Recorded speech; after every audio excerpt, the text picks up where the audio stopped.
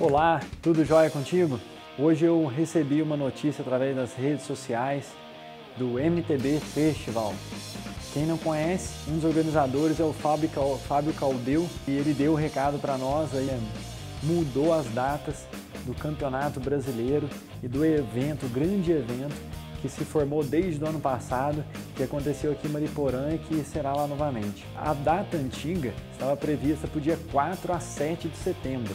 Segundo ele, a UCI marcou várias provas no calendário, um mini campeonato mundial, uma mini Copa do Mundo, em outubro, justamente ali perto das semanas da prova, na semana que já tinha sido marcado. De forma a considerar viável que acontecesse o Campeonato Brasileiro, claro, para nós aqui no Brasil é o campeonato mais importante de todos, respeito aos atletas, ele mudou a data do evento, conversando com o CEAI, com a Confederação Brasileira e com os atletas também, que eu achei muito legal essa atitude dele, de saber do, do, do próprio público né, que vai estar competindo, o, o que seria melhor, a situação de datas e tal. Fecharam do dia 30 do 10 ao dia 2 do 11. Então vai ser dia 30, 31, 1 e 2. As provas vão ser divididas da seguinte forma: no dia 30 vai ser e-bike, são as bikes elétricas, e o short track, o Campeonato Brasileiro de Short Track e o Campeonato Brasileiro de E-bike. No dia 31, a prova mais esperada que acho que todo mundo gosta de assistir. O ano passado eu estava lá e foi um show, pista lotada, uma pista super técnica, mas que a gente conseguia ver cada trecho da pista. Eu particularmente fiquei no alto, lá no ponto mais alto, onde a galera passava numa trilha fechada e foi incrível ver essa a elite nacional competindo lá em realmente alto nível. Vai ser o XCO, que mais uma vez eu repito, é a prova mais esperada. Se você não nunca foi em Araxá, por exemplo, vai no Campeonato Brasileiro. É fantástico esse evento. Aí no dia primeiro vai ser o XCM, a maratona, que está aberta ao público também. E eu quero abrir um parênteses sobre isso aqui, daqui a pouquinho eu vou falar. E o Downhill. Downhill também, o ano passado eu não tive a oportunidade de assistir, mas é super legal. Então é uma diversão para a família. E no, e no dia 2 vai ter um trail, uma corrida lá de montanha mesmo. Acredito que deve ser no circuito da prova ou deve passar em alguns trechos, mas vai ser um circuito de corrida para quem ama aí a, o mundo a pé. Quero fazer uma, um comentário sobre essa oportunidade do Campeonato Brasileiro. Eu acredito que nunca na história esteve tão igualado as condições de treinamento para todo mundo. O que, que eu quero dizer com isso? Quando as competições estavam aí, muitas competições, quem tem a oportunidade de correr várias provas, de planejar o seu calendário colocando várias provas, visando a prova principal, que por exemplo para muitos é o Campeonato Brasileiro, e veja que eu não estou dizendo de atleta profissional de alto nível, não. Eu estou falando de atletas que competem, que gostam de uma disputa e que tinham a oportunidade de participar de um campeonato brasileiro na sua categoria. Por exemplo, ano passado, um aluno meu aqui, um grande amigo, Emílio Machado, aqui de Cambuí, quem é da região que conhece o Emílio sabe que anda muito bem, correu na categoria dele e foi campeão brasileiro. Então uma pessoa que, que anda comigo, pedala comigo, já veio aqui em Extrema e tem um título nacional. Então é pessoas comuns que gostam da bike, se divertem, que treinam também, que levam a sério a forma física, cuidar da saúde e têm a oportunidade de disputar o Campeonato Brasileiro. Então você que está assistindo pode fazer inscrição, que o Campeonato Brasileiro tem o Campeonato Brasileiro e tem a Maratona Amadora junto. Você pode correr qualquer um dos dois. No caso do Emílio, ele correu o Campeonato Brasileiro, a categoria dele e foi campeão. O que, acontece então? Quem tinha mais possibilidade, até mesmo financeira, de investir e ir, ir nas provas, ele se preparava de forma melhor. Porque o planejamento de treino, ele existe picos de intensidade, onde você precisa colocar o corpo à prova. No método de treinamento que eu desenvolvi, e lá eu explico isso. Quando que você deve fazer os seus picos de, de esforço, que a gente chama de choque. Então você treinou, treinou, treinou, vai lá e faz o choque. Esse choque é que faz elevar o seu nível depois que você passa e ele descansa. Então você eleva o nível nele de desgaste, aí depois você recupera e desenvolve a forma física. Quem antes tinha possibilidade de fazer isso várias vezes durante a temporada, antes da prova-alvo, tinha uma vantagem gigantesca perto dos demais. Qual é o motivo disso? Fator motivacional. Você não precisa de motivação pessoal interna você tem gente ali do seu lado toda hora brigando posição, ou alguém um pouquinho mais forte na sua frente você tenta buscar, ou você está mais forte e tenta fugir daquela pessoa que está chegando em você. Então, consequentemente, você elevava o nível do seu esforço, o nível do seu condicionamento, ia subindo proporcional a isso. Sem as provas, depende da motivação interna de cada um.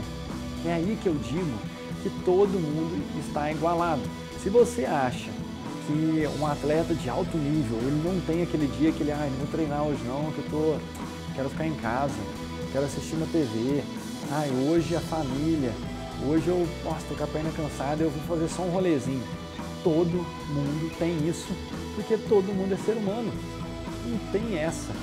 Até te dar um exemplo, hoje que eu estou gravando esse vídeo, eu tinha um treino programado de uma hora e meia em Z2, só que com uma cadência um pouco mais firme, 75 a 80, por, a 80 RPM.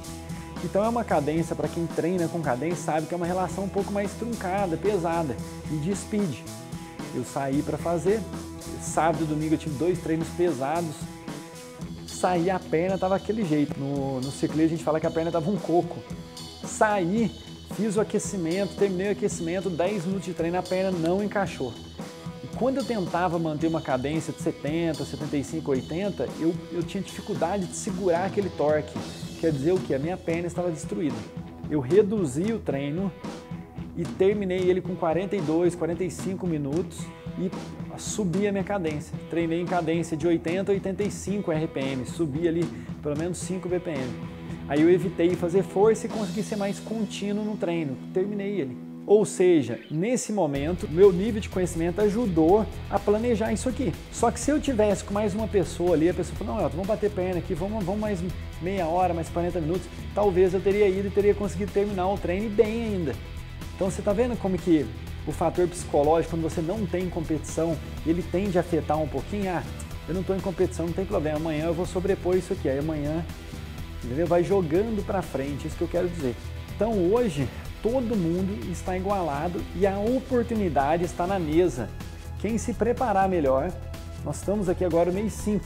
Então, basicamente, nós temos mês 6, mês 7, mês 8, mês 9 e o mês 10 ali no finalzinho dele.